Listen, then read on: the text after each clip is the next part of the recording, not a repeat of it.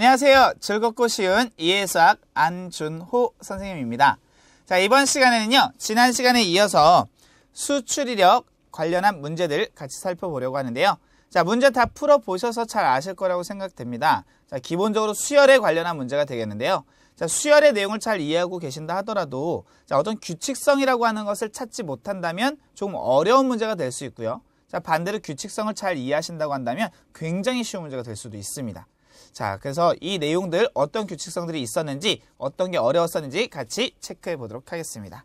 자, 제일 먼저 그 전에 문제 풀기에 앞서서 어, 개념적인 부분을 같이 한번 좀 정리를 해보고 넘어갈게요.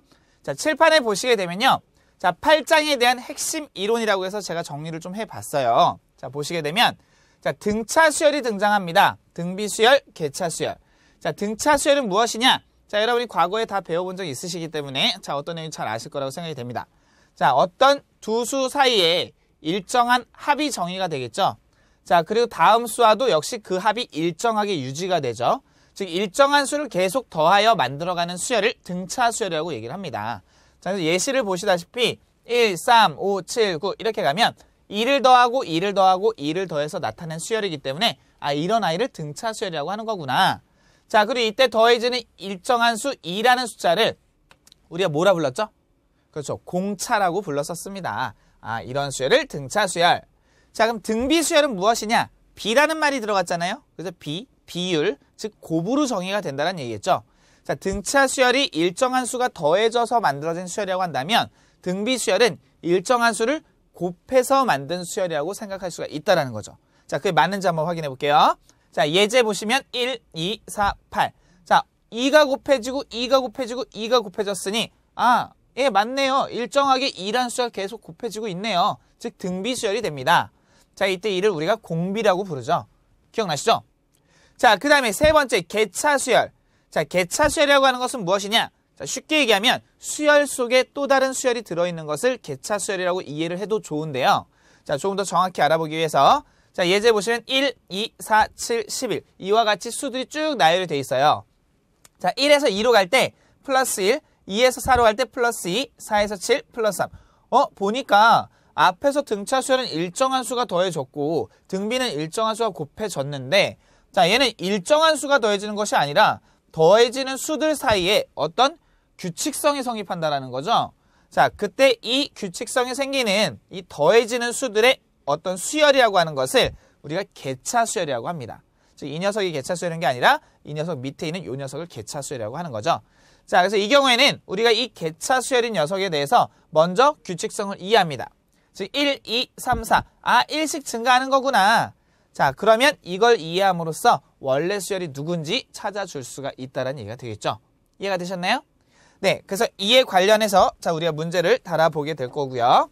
자, 그 다음으로 또 등장하는 내용에 대해서 어, 살펴보면 자 핵심 예제가 되겠는데요. 자, 일정한 규칙으로 수를 나열할 때 괄호 안에 들어갈 수가 누구겠느냐? 자, 우리가 지금 등차, 등비, 개차, 수열 세 가지를 배웠는데요. 자, 그 중에 어떤 한 가지로 풀릴 수가 있겠죠. 자, 보시게 되면 5, 7, 10, 14. 어, 여기서 일로 갈 때 2가 더해졌고요. 얘는 그렇죠. 3, 얘는 4가 더해졌어요. 자, 이와 같이 생각하면 5가 더해질 거고 6이 더해질 거고 여기는 얼마가 더해질까요? 그렇죠. 7이 더해짐을 알 수 있다는 거죠. 자, 이 정도 여러분 쉽게 판단하실 수 있을 거라고 생각이 돼요. 맞죠? 자, 그래서 정답 체크해 보시면 25에 7을 더했으므로 32가 됨을 확인할 수가 있겠습니다. 자, 어렵지 않은 내용이었었죠? 자, 이렇게 정리해 주시면 되겠고요. 자, 이 다음 내용으로 넘어가시면 이제 새롭게 등장하는 피보나치 수열, 건너뛰기 수열. 자, 이 두 가지를 설명하려고 합니다. 자, 피보나치 수열에 대해서는 한 번쯤 다 들어보셨을 거라고 생각돼요. 뭐 영화에서도 한 번쯤 보셨을 것 같고요. 자, 앞에 두 항의 합이 그 다음 항의 수가 되는 수열을 피보나치 수열이라고 한다. 자, 그래서 이거를 점화식이라고 하는 자, 어떤 수열의 규칙성을 나타내는 표현으로 바꿔보게 되면 자, n번장의 수는 n-1번장의 수와 n-2번장의 수를 더해서 나타내자. 자, 이해가 되셨습니까? 이 말뜻 맞는 거죠? 자, 그래서 예시를 보면 1, 1, 2, 3, 5, 8, 13, 21. 자, 앞에 두 수 1, 2를 더해 주시면 2가 되고요. 1, 2를 더하면 3이 되고요. 2, 3을 더하면 5가 되겠죠? 아, 그러면 주어진 규칙성이 성립하므로 이러한 수열을 뭐라고 하자? 피보나치 수열이라고 하자. 자, 이해가 되셨죠? 네, 이렇게 확인해 주시고요. 자, 건너뛰기 수열. 그냥 편의상 퐁당퐁당이라고 이해를 해보도록 하죠. 자, 건너뛰기. 말 그대로 하나 건너서 또 다른 숫자, 하나 건너 또 다른 숫자. 이들 사이에 어떤 규칙성이 나타날 때 이러한 수열을 우리가 건너뛰기 수열이라고 얘기를 합니다. 자, 그래서 제가 퐁당, 퐁당 이렇게 말씀을 드린 거예요. 자, 그러면 예시를 볼게요. 1, 1, 3, 7, 5 이렇게 쭉 가고 있는데요. 자, 홀수 번째 숫자들만 먼저 표시를 해보면 자, 1, 3, 5, 7. 어? 얘네들 어떻게 되고 있어요? 그쵸? 이씩 증가하고 있는 등차 수열의 형태가 되고 있습니다. 자, 그렇다면 짝수 번째 항은 1, 7, 13, 19. 따라서 6씩 증가하고 있는 등차 수열의 형태가 되고 있습니다. 자, 이러한 경우 그냥 퐁당퐁당 이해하시면 되겠죠. 아, 이런 것을 건너뛰기 수열이라고 얘기하는 거구나. 네, 이렇게 정의를 하고 넘어가도록 하겠습니다. 자, 그러면 이러한 수열들 외에 또 다른 수열이 무엇이 있느냐? 자, 바로 군수열이라고 하는 것이 하나 등장을 합니다. 자, 군수열에서 이 군자라고 하는 것은요, 한자어로 물이 군자가 됩니다. 즉, 물이 지어 다니는 수열을 군수열이라고 합니다. 자, 그래서 일정한 규칙성으로 몇 항씩 묶어 나는 수열, 즉, 무리를 지은 수열을 얘기하는 거죠. 자, 그래서 예시를 보시게 되면 1, 1, 2, 1, 2, 3, 1, 2, 3, 4. 자, 제가 읽는 방법에서 벌써 힌트를 얻으셨을 텐데요. 자, 이 경우에는 앞에 1, 그 다음에 1, 2, 1, 2, 3, 1, 2, 3, 4. 자, 이렇게 숫자들을 묶어주시게 되면 자, 그러면 얘가 첫 번째 1군, 2군, 3군, 4군이라는 군으로서 그룹화할 수 있다는 거죠. 자, 이러한 규칙성을 갖는 수열을 우리가 군수열이라고 얘기합니다. 자, 이 군수열의 특징은요. 자, 1군에서 나타나는 규칙성이 2군에서도 똑같이 성립해야 되고요. 자, 3군에서도 똑같이 성립해야 됩니다. 각 군마다 다르다라고 한다면 이거는 군수열로서의 의미를 갖지 않기 때문에 자, 우리가 생각하는 군수열은 각 군에서 다 똑같은 어떤 관계식이 성립한다 또는 성질이 성립한다는 것을 알 수 있겠습니다. 자, 예시는 한번 쭉 봐주시면 되겠습니다. 자, 여기까지 이해가 되셨습니까? 자, 이해가 되셨으면 이에 따른 핵심 예제 같이 살펴보도록 할게요. 자, 핵심 예제에 등장하고 있는 것은요, 바로 군수열이 됩니다. 자, 우리 교재에서 군수열 표시를 이렇게 밑줄로 표시하고 있는데요. 자, 2, 3, 7, 3, 4, 10, 5, 6, 가로. 자, 이렇게 표시를 해놨습니다. 자, 이걸 보고 규칙성을 조사하라고 했는데요. 자, 앞서 말씀드린 바와 같이 1군에서의 성질이 2군에서도, 2군에서의 성질이 3군에서도 성립해야 됩니다. 자, 그럼 1군의 규칙성 하나를 잘 이해하면 맞는지 아닌지는 2군에서 확인해 주시면 되는 거예요. 그죠? 자, 지금 보니 2, 3, 7이에요. 굉장히 여러 가지 방법을 소, 생각해낼 수가 있어요. 생각해낼 수가 있는데, 자, 우리가 이 뒤에 거를 고려해서 이렇게 생각해 볼게요. 여기는 2에다가 제가 2를 곱해서 3을 더하면 아 이게 7이 된다 라고 생각을 해보려고 합니다. 자 그럼 얘도 되느냐? 자 3에다가 2를 곱한 다음에 음, 4를 더하면 4를 더하면 10이 되는 거 맞네? 어 규칙성 그대로 성립하네요. 그렇다면 얘도 2배 한 다음에 6을 더하면 이 가로의 숫자가 되는 게 맞는 거겠죠. 자 따라서 얼마가 됩니까? 16이 됩니다. 아 그래서 얘는 16이 정답인 거구나. 어, 그러면 이러한 문제 풀 때 우리가 한 가지 패턴을 잡을 수가 있습니다. 자, 어떤 패턴? 세 개의 수가 있으면 항상 이 뒤의 수를 결과물이라고 생각하시면 조금 편해요. 얘가 결과물이라고 생각하면 이 두 수를 적당히 우리가 어떻게 조작을 하든 어떤 규칙성을 찾든 그래서 이 결과가 나오게끔 하는 규칙성. 자, 이걸 이해함으로써 자, 확인을 해 주시면 된다는 얘기죠. 이해가 되셨습니까? 네, 이렇게 푸시는 방법이 있을 거고요. 자, 근데 이렇게 푸는 방법이 눈에 들어오면 굉장히 쉽지만 눈에 안 들어오면 어려울 수밖에 없습니다. 자, 근데 어떻게 해야 돼요? 우리는 풀어야 되잖아요. 자, 그래서 이런 규칙성이 잘 안 보일 때 어, 우리가 풀 수 있는 한 가지 팁을 드리자면 자, 여기 2가 있고요. 여기 3이 있어요. 같은 위치의 수들끼리 어떤 관계를 한번 이해를 해볼게요. 자, 2에서 3까지 자, 증가하는 양을 조사하겠습니다. 자, 2에서 3까지 1이 증가했죠. 그죠? 자, 3에서 4까지 얼마가 증가했습니까? 역시 1이 증가했죠. 어, 그럼 결과물이라고 할 수 있는 7과 1 4에는 증가량이 얼마냐? 자, 얘네 사이의 증가량이라고 하는 것은 3이 됐습니다. 다시 말하면 앞에 두 수 사이의 증가량이 1과 1, 따라서 전체 2가 증가했을 때 마지막 결과는 3이 증가했음을 알 수 있습니다. 자, 그럼 이러한 사실로부터 아, 그래? 그러면 여기 3과 여기 5네 얼마가 증가했죠? 2가 증가했죠? 여기 4, 여기 6, 2가 증가했네요. 아, 그럼 합이 얼마가 증가했습니까? 그렇죠. 4가 증가했죠. 자, 우리가 2가 증가했을 때 3 증가한다라고 했으면 4가 증가할 때 얼마 증가하겠어요? 그렇죠. 6이 증가하겠죠. 이해되셨나요? 자, 그럼 여기 10이었으니까 6 증가한 수 16이라는 거 이해가 되십니까? 아, 신기하죠. 자, 근데 주의하실 거는 모든 수열에서 이 규칙성이 제가 말씀드린 이 방법이 다 성립하는 건 아닙니다. 자, 그래서 이거는요, 어디까지나 문제 푸실 때, 여러분 잘 안 보이실 때 이런 방법으로도 한번 확인을 해봐라. 라는 확인의 방법으로서 제가 제시를 하는 겁니다. 자, 이게 절대적인 건 아니니까요. 자, 여러분이 이런 방법으로 확인을 해볼 수 있다는 거 정도로 이해를 하시면 되겠습니다. 자, 그래서 이렇게 정리를 해보겠고요. 자, 그리고 또 하나, 지금의 경우는 어차피 이 결과물들이 합으로 정의가 되기 때문에 그래서 우리가 어, 이 차이라는 것을 가지고 규칙성을 이해를 했습니다. 만약에 이게 곱셈이었다고 한다면 즉 두 수를 적당히 곱해서 표현한 문제라고 한다면 그때는 2에서 3으로 갈 때 플러스 1이라고 표현하기보다는 곱으로 정의가 됐기 때문에 곱하기 2분의 3 얘는 곱하기 3분의 4 그래서 두 수를 곱한 것만큼 얘가 증가한다 라고 생각을 하시면 되겠습니다. 자 이것 또한 마찬가지예요. 제가 왜 이 얘기를 하냐 우리가 한눈에 안 들어왔을 때 이런 방법으로라도 접근을 해서 답을 맞춰야 되니까 이렇게 생각을 해보시라는 얘기가 되겠죠. 자 그래서 이렇게 정리를 해보겠고요. 자 이해가 되셨으면 자, 다음 문제로 넘어가 보도록 하겠습니다. 자, 다음 문제는요. 자, 우리 이제 시험에 기출됐던 문제가 되겠는데요. 자, 어떤 문제냐? 규칙성을 가지고 어떤 수를 나열했을 때 안의 숫자를 알맞은 것을 골라봐라. 라는 게 문제가 되겠네요. 자, 일단은 수를 보시면 4, 6, 10, 18, 뭐 66. 자, 이게 한눈에 보이시는 분들도 계실 거고요. 어, 아직 나 잘 안 보여 하시는 분들도 계실 거예요. 자, 잘 들여다보시면 여기 4에서 6 우리가 제일 먼저 할 수 있는 일은 뭐예요? 아, 2 증가했네. 얘 얼마 증가했어요? 4 증가했네. 얘 얼마 증가했습니까? 8 증가했네. 자, 이거 제일 먼저 확인하실 거 아니에요. 어, 그랬더니 고맙게도 규칙성이 생기고 있죠? 아, 그러면 그걸로 바로 찾아주시면 됩니다. 자, 그럼 여기가 2, 4, 8. 그럼 다음 증가량은? 그렇죠. 16. 그럼 그 다음 증가량은? 32. 자, 그렇다면 이 규칙성에 따르면 18에다가 16도 하니까 여기가 34예요. 자, 32 다음 66 되는 거 맞아요? 맞죠. 자, 그럼 올바르게 구하셨다는 얘기가 되겠죠. 자, 따라서 정답을 체크해 주시면 이 경우에는 3번이 정답이 되겠습니다. 어렵지 않았죠? 네, 이렇게 확인해 주시기 바라고요. 자, 여기까지 이해가 되셨으면 역시 다음 문제로 넘어가 보도록 하겠습니다. 자, 이번에는 우리 교재에 있는 문제 중에서 자, 여러분이 다 풀어보셨을 건데 그 중에 여러분이 좀 어려워하실 만한 거, 자, 혹은 좀 중요하다 생각되는 것들만 제가 조금 추려봤습니다. 자, 그래서 5번 문제 같이 보려고 합니다. 자, 어떤 문제인지 한번 보도록 할게요. 자, 5번 문제 보시게 되면요.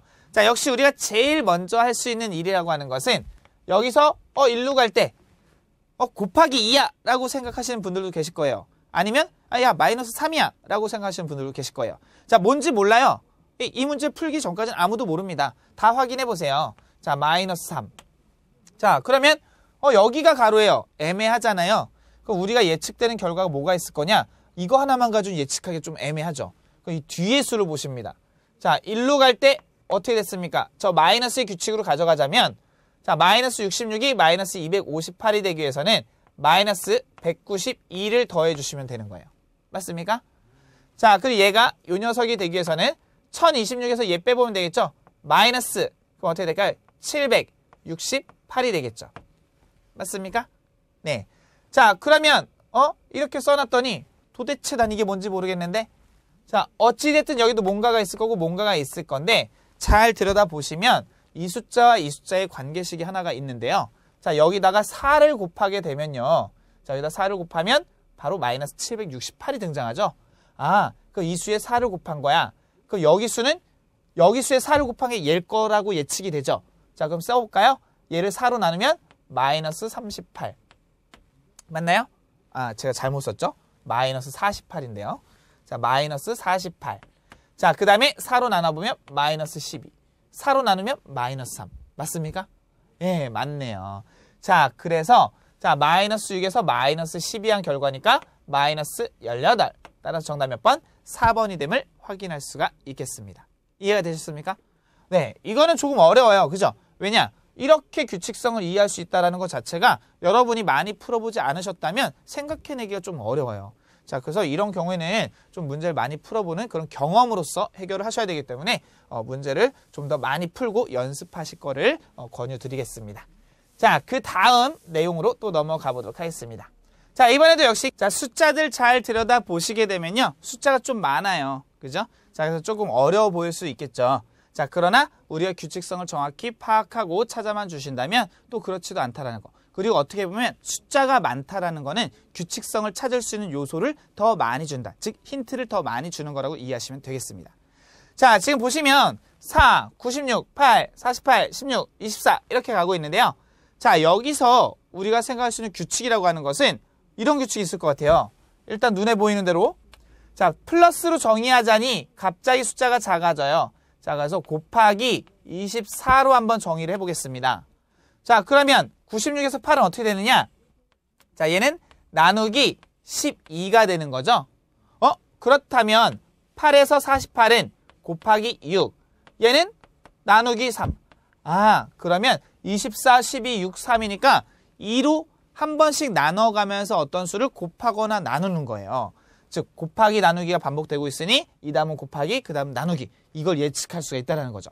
자 그럼 여기 나누기 3이었으니 이 숫자를 2로 나눈 다음에 곱하기로 바꿔주시면 2분의 3을 곱하고 그 다음에는 나누기 4분의 3이라는 걸 예측할 수가 있다는 거죠. 자 그렇다면 우리는 여기 있는 24라는 숫자에서 나누기 4분의 3을 하면 되니까 자 24 곱하기 3분의 4로 바꾸어서 자 이거 계산하시면 32가 되겠습니다. 자 따라서 정답이라고 할 수 있는 건 몇 번이 되나요? 3번이 정답이 됨을 알 수 있겠습니다. 자 이렇게 풀어주시면 되겠는데요. 아 이 규칙성 너무 어려운 것 같아요. 어떻게 찾아요? 야 이게 어렵다. 그러면 여러분 이렇게 생각하는 방법이 있습니다. 4, 8, 16. 그 다음에 여기 어떤 수? 그 다음에 여기 64. 자, 잘 생각해 보시면요. 4에서 8로 갈 때 곱하기 2를 했고요. 8에서 16을 할 때 곱하기 2를 했어요. 그 얘도 곱하기 2했다 가정하면 또 곱하기 2에서 64가 나와요.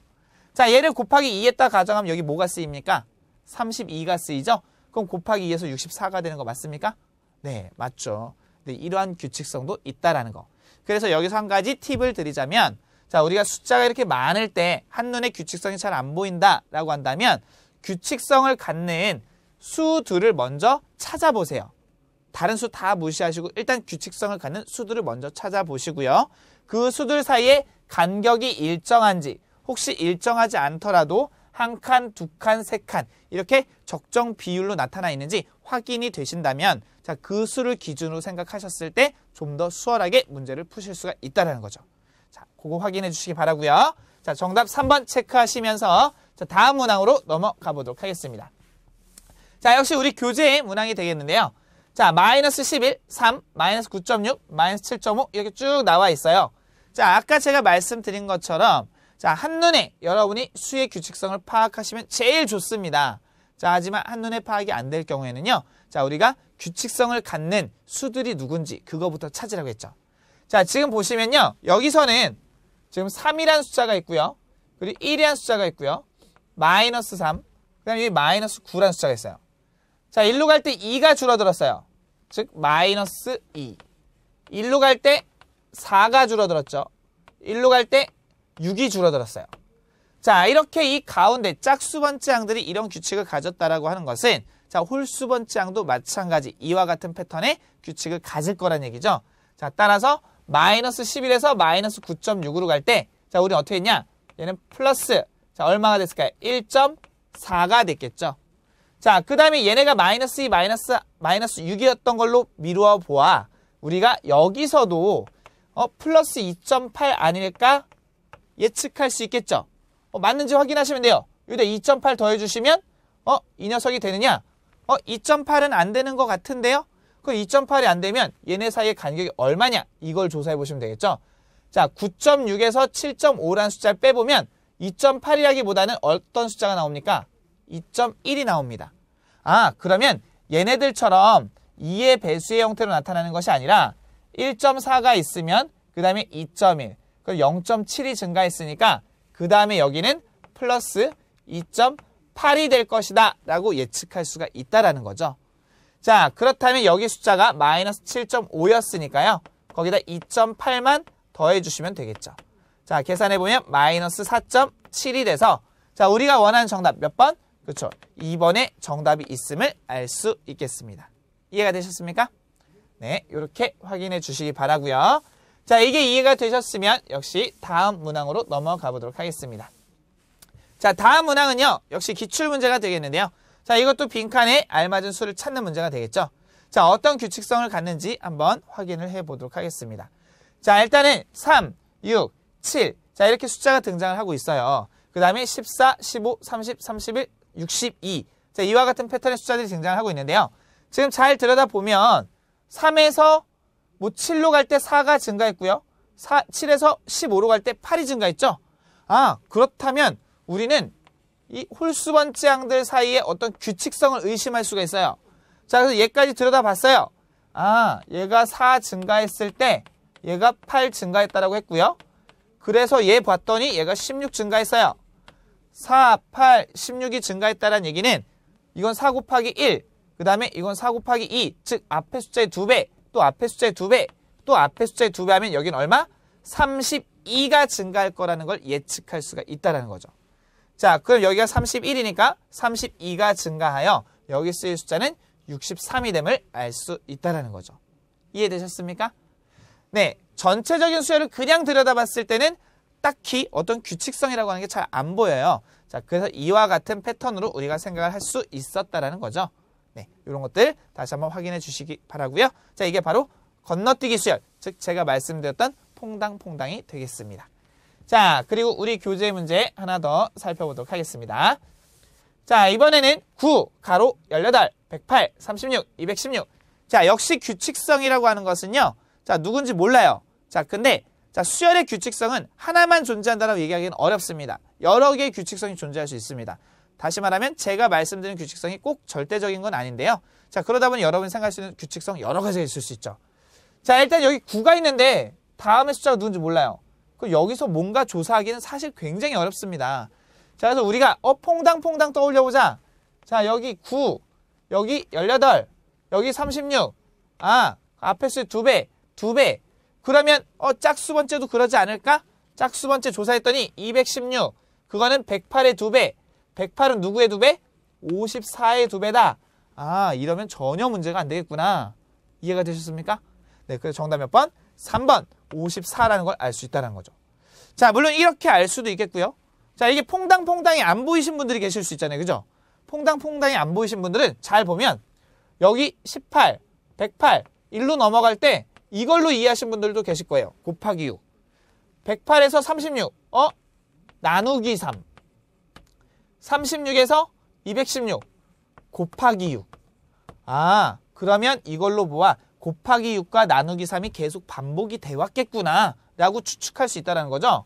그럼 여기 올 숫자는 곱하기 6이었을 거고 1로 가는 거는 나누기 3이었을 거다. 그래서 곱하기 6 하면 54. 이해되셨습니까? 예, 완전히 다른 규칙성이긴 하지만 결과는 같습니다. 맞죠? 자, 그래서 제가 아까 말씀드린 것 같이 한 가지 수열에 대해서 규칙성이 꼭 하나만 존재한다는 보장은 할 수가 없다라는 거. 자, 그럼 어떻게든 여러분 똑같은 결과를 얻어낼 수 있기 때문에 자, 그때의 결과는 3번 54가 됨을 확인해 주시면 되겠습니다. 자, 여기까지 이해가 되셨으면 역시 다음 내용으로 넘어가 보도록 하겠습니다. 규칙으로 수를 나열할 때 괄안에 들어갈 알맞은 숫자는 자, 숫자가 조금 많네요. 자, 잘 보시게 되면 1, 2, 3, 5, 8 누구? 자, 이게 바로 눈에 보이신 분들은 아, 이거는 누구다. 피보나치 수열이다 라는 것을 알 수가 있겠습니다. 왜? 앞에 1, 2 더하면 3, 2, 3 더하면 5, 3, 5 더하면 8. 그럼 여기 숫자는 5와 8을 더하여 13. 자, 이렇게 바로 찾아낼 수가 있겠죠. 이해가 되셨습니까? 네. 이러한 패턴으로서 우리가 알고 있는 피보나치 수열을 의심하여 해결할 수도 있다는 거죠. 자, 그래서 굉장히 간단히 해결할 수가 있겠습니다. 자, 혹은 어떤 분들은 증가량으로 조사하신 분들도 계실 수 있어요. 증가량 조사해 보시면 이렇게 나타날 거예요. 어, 그럼 이 증가량 또한 뭐가 돼요? 피보나, 피보나치 수열이 되겠죠? 아, 그러면 여기 5가 증가할 거란 걸 예측할 수가 있다라는 거죠. 이해되셨습니까? 네, 이렇게 확인해 주시게 되면요. 자, 정답 몇 번? 3번 13으로 체크하실 수가 있겠습니다. 이해되시죠? 자, 피보나치 수열 기억해 주시기 바라고요. 자, 이해가 되셨으면 자, 그 다음 우리 교재 문제로 넘어가 보도록 하겠습니다. 자, 우리 교재 문제 보시게 되면 자, 가로 3, 1, 8, 마이너스 7, 71, 마이너스 22. 자, 이와 같은 수가 등장을 하고 있는데요. 자, 여기서 지금 나타내고자 하는 규칙성이 누구냐? 제일 앞에 가로가 누군지 모릅니다. 자, 그럼 어떻게 보면 더 좋은 걸 수도 있어요. 이 나머지 숫자들의 규칙성을 이해함으로써 해결할 수가 있을 거니까 예, 그렇게 확인을 해보도록 하겠습니다. 자, 일단 여기서 잘 보시게 되면 자, 3과 1 그리고 8이 등장하는데요. 자, 이거를 우리가 규칙을 조사해보자. 318 또는 31 얘네 사이에 어떤 규칙이 있지? 좀 애매하죠? 그럼 퐁당퐁당도 의심해봅니다. 퐁당퐁당 어 애매한데? 뭔가 애매한데? 피부나치도 의심해보면 애매해요. 자, 그렇다면 그런 것보다는 적당한 수의 연산을 통해서 확인하는 방법을 생각하시면 좋을 것 같아요. 자, 여기 3이라는 숫자가 있는데 1과 연계하여 8을 표현할 수 있는 방법을 한번 생각해 볼게요. 자, 3을 제곱한 다음에 1을 빼면 뭐가 됩니까? 네, 8이 되는 걸 알 수 있겠죠?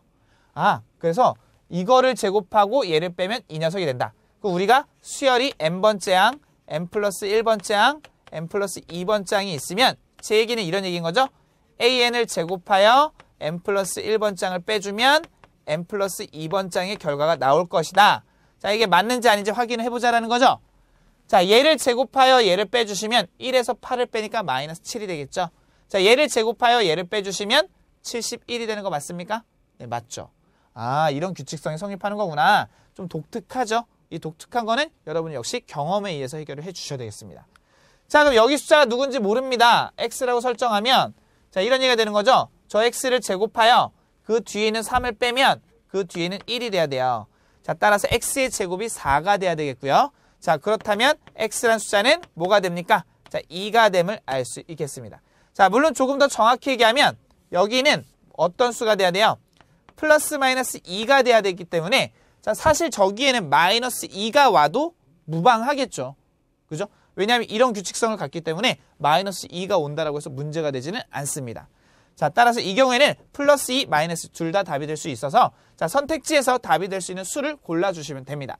자, 그 중에 답이 될 수 있는 거는 3번밖에 없겠죠. 이해가 되셨습니까? 네, 이렇게 확인해 주시면 되겠습니다. 자, 그래서 때에 따라서는 우리가 눈에 보이는 수열 외에도 자, 피보나치 수열이나 우리가 앞서 배웠던 퐁당퐁당 이런 규칙성을 가지고 찾을 수 있는 것들이 있고 지금처럼 그런 규칙성들이 적용이 되지 않는 경우에 대해서는요. 적당히 앞수, 뒷수 사이의 어떤 연상관계에 통해서 규칙성을 찾으려고 노력을 해 보셔야 된다는 거죠. 아시죠? 자, 기출문제 하나 더 보도록 하겠습니다. 자, 바로 군수열에 관련한 문제가 되겠는데요. 자, 첫 번째 군에 3, 2, 8, 4, 3, 11, 5, 4 누군지 모릅니다. 그죠? 어, 그럼 이 규칙은 뭘까 살펴봤더니 어, 여기 3에다가 제가 적당한 수를 곱해서 이 녀석과 연산을 하면 8을 만들 수 있을 것 같아요. 즉, 저는 이 아이를 결과라고 생각을 해볼게요. 그럼 3에다가 2를 곱하고 2를 더해보면 뭐가 됩니까? 8이 되겠죠? 이해되셨나요? 자, 그럼 얘도 그렇게 해볼까요? 4에다가 2를 곱하고 3을 더해보니까 11이 되네요? 아, 고맙죠. 아, 그 이 규칙성이 똑같이 성립하겠구나. 자, 따라서 이 아이는 5에다가 2를 곱하고 4를 더하면 14가 되겠구나. 자, 따라서 정답 몇 번? 5번이 됨을 알 수 있다는 거죠. 이해되셨습니까? 자, 물론 이거를 해결할 수 있는 방법은 이 외에도 다양한 방법이 존재할 수 있습니다. 자, 예를 들자면 이 안에 있는 숫자들의 합이 어, 13이에요. 얘는 숫자들의 합이 18이에요. 자, 그러면 5 증가했으니까 5 증가하면 얘 23이 돼야 되겠네요. 그 얘네 둘이 9니까 14겠네요. 네, 이런 규칙성도 있을 수 있습니다. 자, 또 다른 거는 자, 우리가 이렇게 못 찾을 때 만약에 눈에 잘 안 보였을 때 해결할 수 있는 방법 제가 소개해드린 바 3과 4 같은 위치의 숫자끼리 증가하는 양을 조사하면 1이 증가했습니다. 2에서 3으로 갈 때 역시 1이 증가했죠.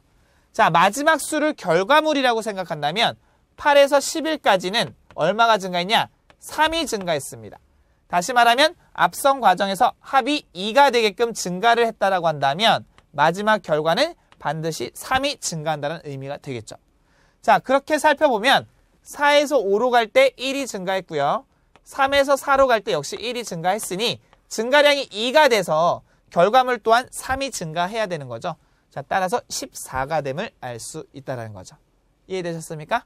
네, 세 가지 규칙성을 보여드렸는데요. 자, 어떤 걸로 푸셔도 상관이 없다는 거. 하지만 이제 마지막에 보여드린 과정은요. 어, 여러분 제가 말씀드렸듯이 항상 성립하는 과정은 아닙니다. 이거는 여러분이 규칙성을 찾는데 한 가지 좋은 도구로서 활용하시라고 제가 드리는 팁이 될 뿐인 거고요. 자, 꼭 성립한다는 보장 못 드립니다. 자, 그 다음에 21번 문제 보도록 하겠습니다. 4, 6, 2, 11, 12, 15, 3, 5, 가로. 자, 이 경우에 대해서 우리가 문제를 풀어보려고 하는데요. 자, 4, 6, 2. 그럼 얘를 결과물이라고 생각한다면, 자, 이거 어떻게 합니까? 6에서 4 빼면 2가 되는데, 맞지 않습니까? 그러면 얘는요, 12에서 11 빼면 1이 돼야 되는데 15가 됐잖아요. 아니라는 거죠. 네, 그럼 다른 규칙성을 이해하셔야 돼요. 자, 그럼 어떻게 볼 거냐? 제가 이 숫자와 이 숫자를 가지고 적당히 더해보고, 그 다음에 2를 만들기 위해서 8을 빼보도록 할게요. 그럼 2가 되는 건 맞겠죠? 일부러 제가 맞춘 거니까요. 그죠? 예. 그러면 이 관계식이 여기서도 성립하느냐? 11에서 12를 더해보고요. 8을 뺐더니 15가 되네요. 아, 규칙성이 성립하네. 그 여기도 마찬가지죠. 3에서 5를 더해보고 거기서 8을 빼면 누가 돼요? 0이 되는 거죠. 맞습니까? 아, 따라서 정답 몇 번? 2번. 0이 됨을 알 수 있다는 거죠. 자, 근데 이 경우도 여러분 이게 쉽게 생각이 되지 않을 수가 있다는 거죠. 자, 그럼 어떻게 해라? 앞서 바, 어, 말씀드렸던 거 항상 성립하진 않지만 대체로 성립할 수 있기 때문에 자, 여러분 증가량을 조사합니다. 4에서 11까지는 7이 증가했습니다. 6에서 12까지 6이 증가했습니다. 합이 13이 증가했습니다. 자, 그럼 결과물 보시면 2에서 15까지 13이 증가했네요. 아, 결과적으로 앞선 과정에서 13이 증가하면 결과물도 13이 증가한다. 이 얘기는 다르게 해석하면 1이 증가하면 1이 증가한다는 뜻인 거죠. 네, 비율로서 이해하면. 자, 그렇다면 여기 11에서 3까지 마이너스 8 감소한 거예요. 12에서 5까지 마이너스 7 감소했습니다. 자, 그럼 마이너스 15 감소했어요. 1 증가에 1 증가라고 했으니 1 감소면 1 감소겠죠. 그럼 마이너스 15 감소면 여기도 마이너스 15 감소가 돼야 되겠죠. 자, 따라서 여기서 15 감소시키면 0이 되겠죠. 이해가 되셨습니까? 네, 이런 방법도 있습니다. 자, 그래서 이 마지막 방법 늘 말씀드리지만, 자, 이거는 정말 우리가 규칙성이 눈에 안 들어왔을 때, 어, 이렇게라도 해보자. 자, 그래서 판단을 해보자는 얘기죠. 아시겠죠? 자, 이해가 되셨으면, 자, 그 다음 내용으로 넘어가 보도록 하겠습니다. 4, 7, 2, 14, 32, 66, 그리고 8, 7, 4, 가로. 자, 이들 사이에 어떤 규칙성을 우리가 조사를 해야 되는데요. 자, 군수열이잖아요. 자, 군수열이기 때문에 자, 이 1군에서의 어떤 규칙성이 2군에서도 3군에서도 성립을 해야 됩니다. 자, 그리고 이 경우에 우리가 한눈에 숫자의 어떤 규칙이 안 보인다고 한다면 마지막 수를 제가 결과물이라고 생각을 하고요. 자, 이 앞에 세 수를 적당히 조작하여 14를 만든다라고 생각하면 비교적 쉬운 방법의 어떤 규칙성이 나타날 수가 있습니다. 자, 보시게 되면 4와 7을 곱했을 때 28이죠? 그걸 2로 나누면 얼마예요? 14가 됨을 알 수 있다는 거죠. 어? 그럼 여기서도 되나? 곱하기 나누기. 그럼 6이 되네요? 그럼 여기도 마찬가지겠죠? 곱하기 나누기. 56이니까 4로 나눠주시면 여기 14라는 결과를 얻어낼 수가 있겠죠. 자, 따라서 정답 몇 번? 2번이 됨을 알 수 있다는 거죠. 자, 그래서 우리가 군수열의 문제를 다룰 때는요. 자, 마지막 수. 규칙이 한 번에 보인다면 물론 그렇게 안 하셔도 되지만 규칙이 잘 안 보일 때는 마지막 수를 어, 계산의 결과물이라고 생각을 하시고 자, 그리고 여러분이 정리를 해 주시면 되겠습니다. 자, 그래서 우리가 지금까지 살펴봤던 어, 수열의 내용들 그리고 문제들 같이 정리를 해봤는데요. 자, 이러한 내용들 빠짐없이 다시 한번 정리해 보시고요. 여러분이 복습을 해 주셔야 되겠습니다. 다 이해되셨죠? 자, 그럼 저는 다음 시간에 뵙겠고요. 여러분 모두 수고하셨습니다.